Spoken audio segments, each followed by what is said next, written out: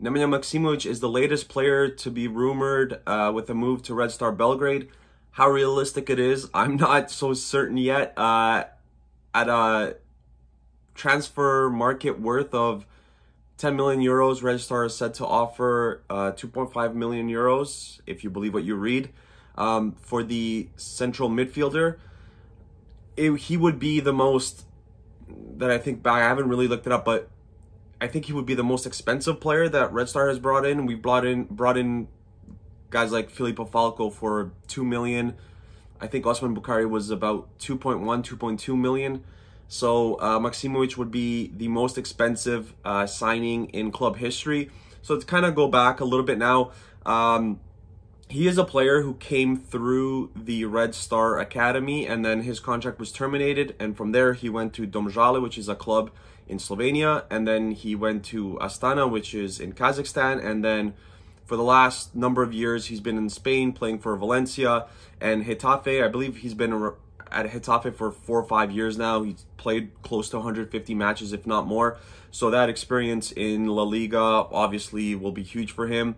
Uh, any international experience really is more than welcome at the club, especially for players who are of a Serbian background, which is, if you believe what you hear within the club, the club wants to bring in players who have a Serbian background, who have experience.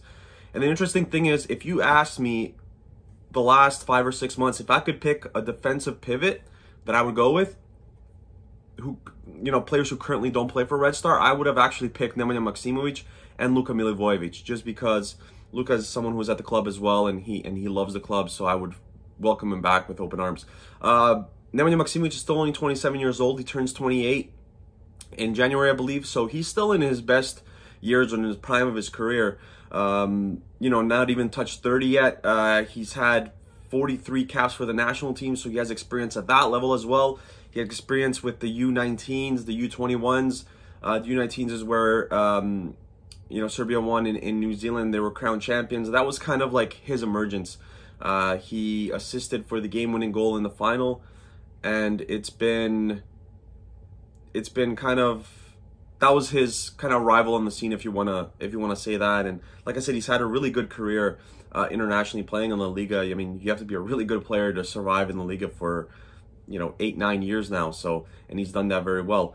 Um, his current contract runs until 2024 with um, Getafe.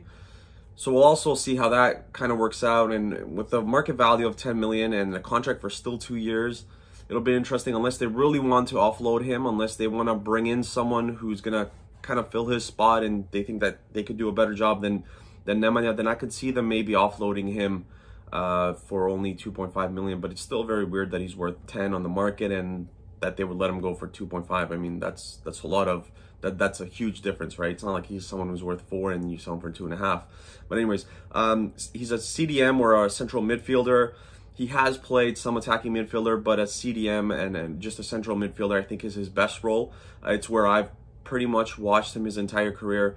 I know he's had some attacking midfield roles. I think it was with Getafe um, and he's actually, when you look at the statistics, he hasn't been that bad. I think in 17 matches, he has something like four goals and an assist. So maybe it's something that the team can explore going forward if he does sign with Red Star. Although I think he's better in that um, CDM, CM role.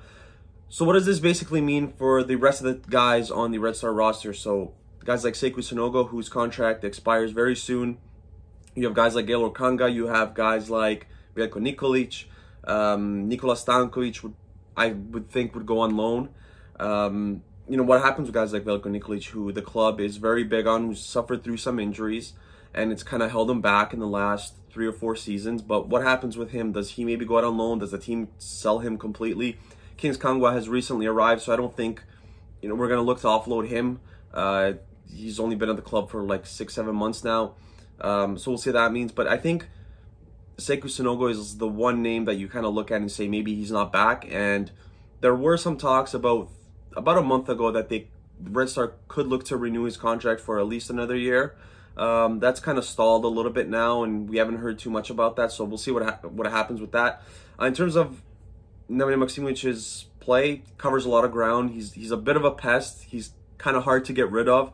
Uh, and the team needs a real central defensive midfielder. Like I said, we whiffed on um, Addo from from uh, Sheriff.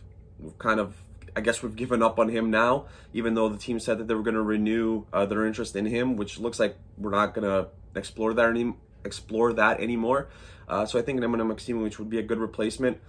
Blocks a lot of shots, has a lot of interceptions, and I think in front of the back line, I think that's something that you really need.